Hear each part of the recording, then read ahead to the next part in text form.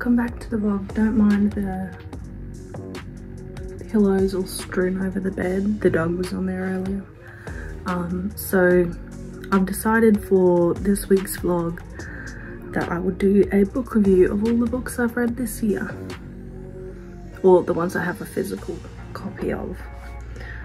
So let me grab them.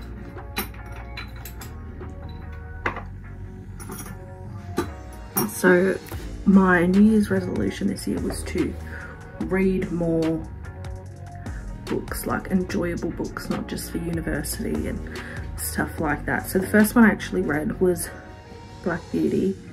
I tried to get it in the same cover as I've got all the other display books on my bookshelf. Um,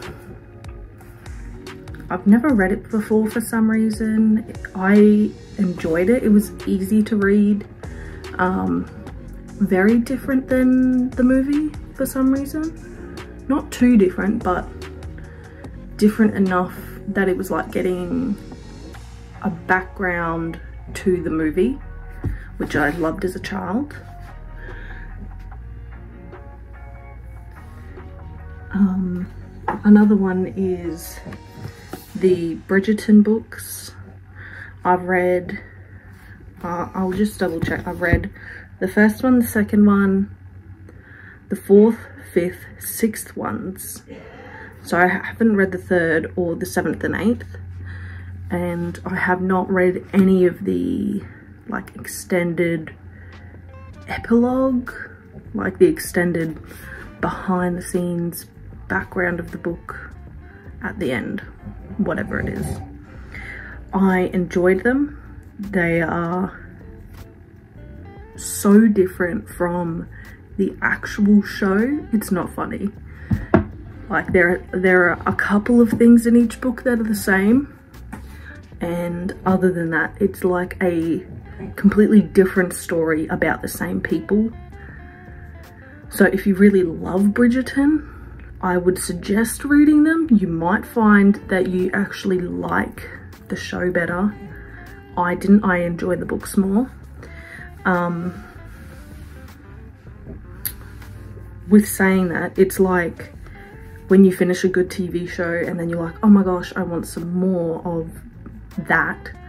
It's like that. You get that extra story because there's a lot of stuff that's not in the show and a lot of things that come later in the books are in the first season and all sort of things like that. Now my favourite Bridgerton book was, it's called To Sir Phillip with Love. That's about Eloise and finding a husband or partner. That was my favourite one. I don't know why. But um, spoilers, so click away if you don't want to know what happens in the book. Um, so click away now, go to watch another video, something like that.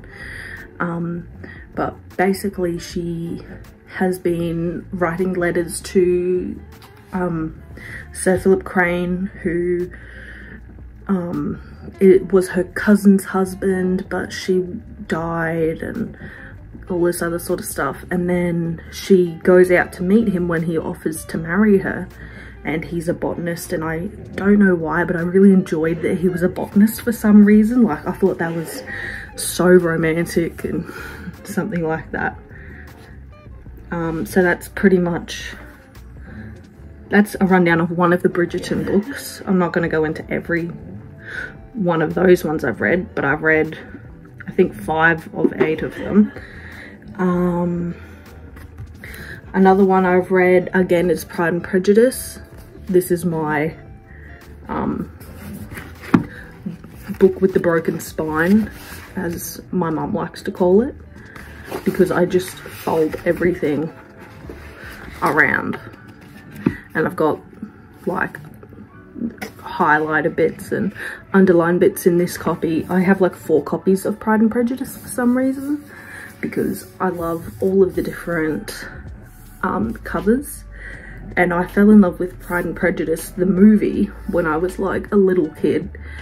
Um, the one with can't remember who's in it, but I think it's like the 2004 version is like my favorite version. That's like my favorite movie ever. So again, I read Pride and Prejudice, which I have read in the past. Um, I forgot how long-winded it can be and how long it takes to get into any what I would think would be like good parts of the book. Um, I have been known in the past to skip like the first like, 10 chapters and then just read from there to the end.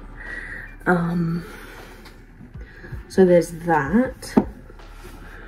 I reread Dracula, which I read in high school and I really enjoyed.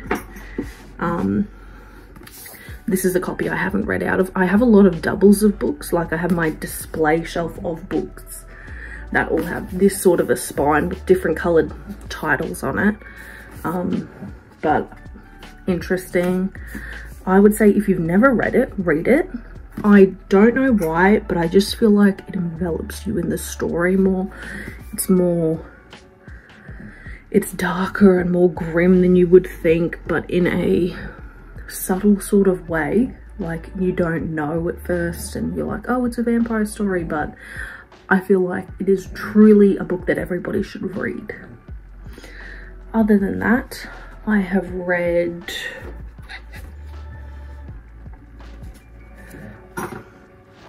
well I'm partially reading it's called The Mountain Is You obviously I haven't read it in a long time um, I started this book last year and it's a book about self-sabotage and how to get out of that self-sabotaging mindset. Um, my therapist actually recommended it to me and I just have not picked it up for a while so I'm aiming to finish that this month. Um, I have a lot of sticky notes on the side of it. I have parts where I've written in there or things that I go back to occasionally um, I think it's good for anybody who is on a finding themselves journey like trying to find yourself again I feel like it's very, it can bring up a lot of stuff, which it has for me, and I find it can be hard to read and, you know, thinking about working on yourself is hard. Like it's a hard thing to do and yeah. So that's about it. I'm currently reading for this month um, another Bridgerton novel. This one is about Hyacinth, that's the youngest child. I'm like 12 pages in, so hopefully it gets better.